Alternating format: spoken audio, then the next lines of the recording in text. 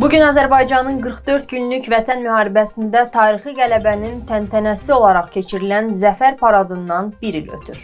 Ermənistan silahlı qüvvələrinin bölmələri dövlət sərhədinin Basarkeçər rayonu ərazisində əlavə canlı qüvvə və döyüş texnikası cəmləşdirməklə növbəti təxribata əl atıb. Hərbi qulluqçumuz 1995-ci il təvəllüdlü baş çavuş Məmmədzadə Pərviz Babaoğlu xidmət etdiyi hərbi hissədə ilkin ehtimala görə ürək tutmasından vəfat edib. Azərbaycan iqtisadiyyatına investisiya qoyuluşu azalıb.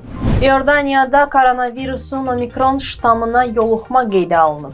Ağır yaralanan 4 qazimiz Yaşad fondu tərəfindən Türkiyəyə göndərilib. Akordun Bakıxanov yaşayış kompleksindəki 5-ci binada qadın özünü yaşadığı evdən ataraq intihar edib. Qeyd edək ki, bu hal son 3 ayda 3-cü dəfə baş verib. Bakıda qadın sərnişinlərə əxlaqsız təkliflər edən 5 taksi sürücüsü saxlanılıb.